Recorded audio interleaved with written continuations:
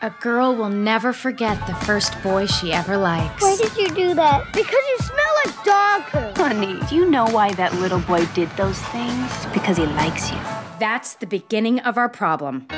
We're all programmed to believe that if a guy acts like a total jerk, that means he likes you. Hey, Connor, I hadn't heard from you, and I mean, how stupid is it that a gal's got to wait for a guy's call anyway, right?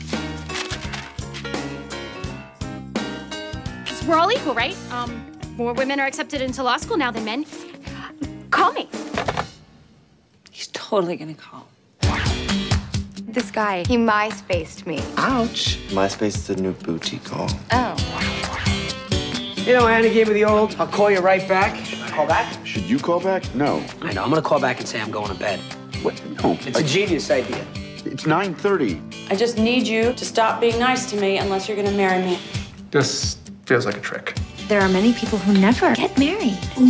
Look at Al Pacino. Never been married.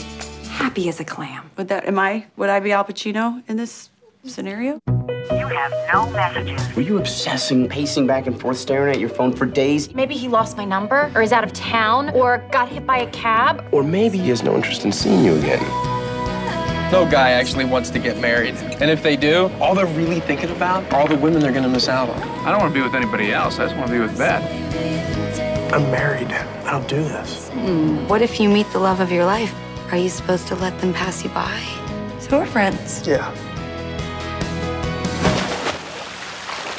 You know, you may be the best friend I've ever had. From New Line Cinema comes a comedy about meaning what you say. I gotta go to bed, though. Is that an invitation? What? Without saying what you mean. Oh, good. That was cheesy.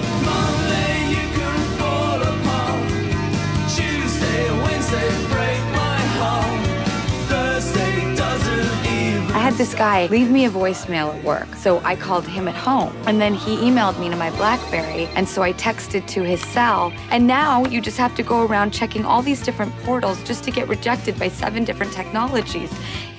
It's exhausting.